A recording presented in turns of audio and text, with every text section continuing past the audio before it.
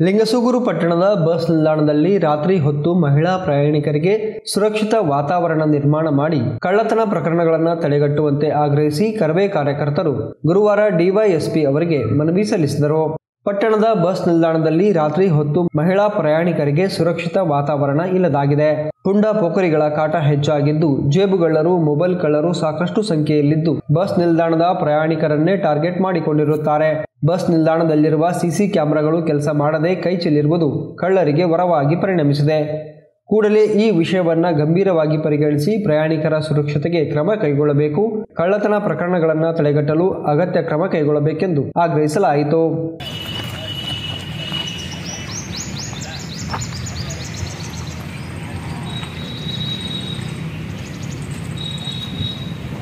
ಈ ಸಂದರ್ಭದಲ್ಲಿ ಕರವೇ ಅಧ್ಯಕ್ಷ ಜಿಲಾನಿ ಪಾಷಾ, ಚಂದ್ರು ನಾಯಕ್, ಅಜೀಜ್ ಪಾಷಾ, ರವಿಕುಮಾರ್ ಬರಗುಡಿ, ನಿರುಪಾದಿ ಹಿರೇಮಠ್, ಅಲ್ಲಾವುದ್ದೀನ್ ಬಾಬಾ, ಆರಿಫ್, ಅಮರೇಶ್ ಹಾಗೂ ಇನ್ನಿತರರು ಇದ್ದರು.